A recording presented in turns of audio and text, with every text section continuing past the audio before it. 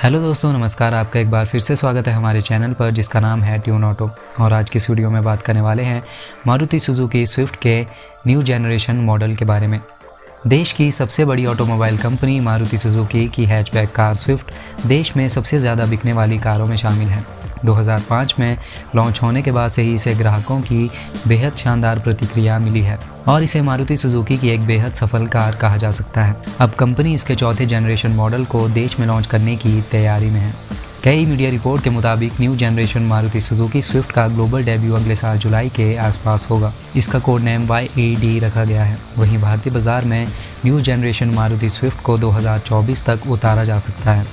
Car निर्माता ने car को लेकर काम करना शुरू कर दिया है और इस बारे में संभावित आपूर्तिकर्ताओं के लिए एक अनुरोध के लिए कोटेशन जारी करने की सूचना मिली है। हालाँकि अभी तक नई मारुति स्विफ्ट और इसके लॉन्चिंग डिटेल्स के बारे में कंपनी ने कोई आधिकारिक जानकारी साझा नहीं की है।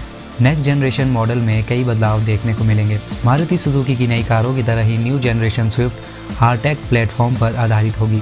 इस कार के आर्किटेक्चर को डिज़ाइन करने के लिए अल्ट्रा और एडवांस्ड ज़्यादा मज़बूत स्टील का इस्तेमाल किया जाएगा, जिससे कार पहले की तुलना में ज़्यादा मज़बूत होने के साथ हल्की भी होगी।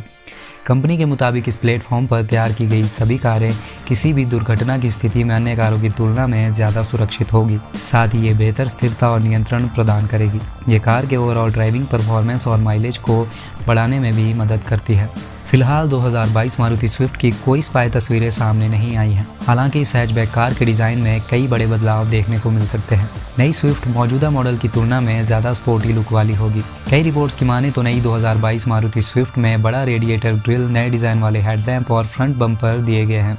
इसमें नया alloy wheels bold shoulder crease और नए ओ भी मिल सकते हैं।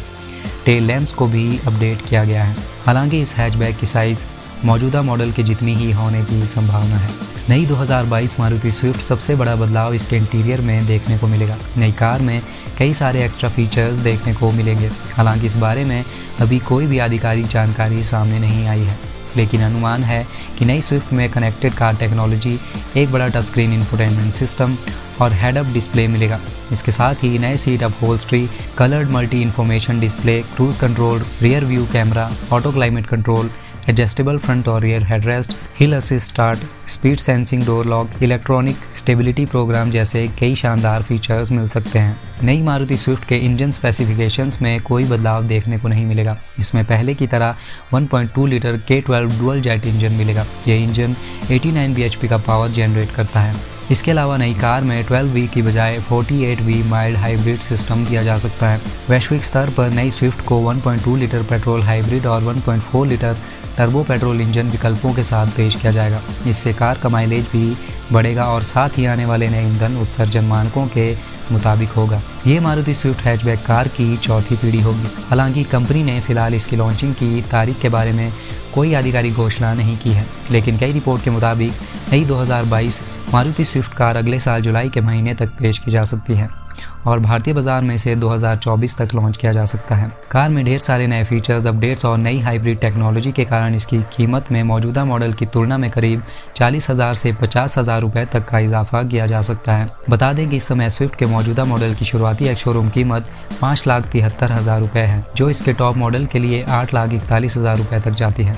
तो दोस्तों, जानकारी पसंद आई हो तो वीडियो को लाइक करें कमेंट करें शेयर करें और हमारे चैनल को सब्सक्राइब करें। धन्यवाद।